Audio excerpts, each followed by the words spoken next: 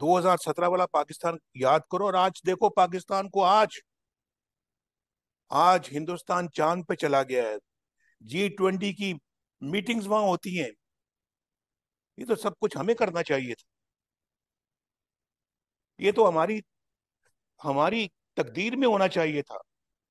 ये तो हमारी किस्मत में होना चाहिए था कि हम ये करते।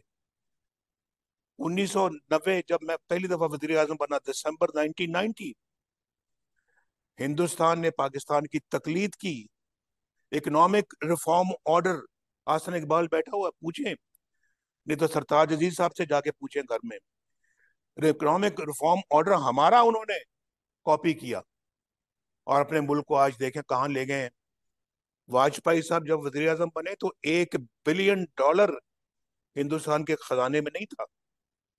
लेकिन आज उनके पास 600 बिलियन डॉलर जो है ना, वो कहाँ से आ गया है? और हम एक एक बिलियन डॉलर आज भी मुल्क मुल्क जाके मांग रहे हैं। क्या इज़्ज़त है हमारी आज? उनकी नज़रों में भी क्या इज़्ज़त है? चाइना से हम मांगते हैं, अरब मुल्कों से हम मांगते हैं। हमारा वज़ीर में जाके उसको मजबूर होता है वो मांगने के लिए। और आज डिफ़ॉल्ट के दहाने पहुँचे हुए हम। ये अपने मुल्क के साथ कर क्या दिया हमने? और जिन्होंने इस मुल्क के साथ ये किया है वो पाकिस्तान के सबसे बड़े मुजरम है।